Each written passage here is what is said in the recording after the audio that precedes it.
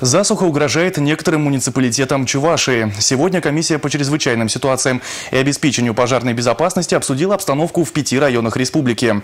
Там мониторинг показал низкий уровень влажности в пахотном слое в течение трех декад подряд.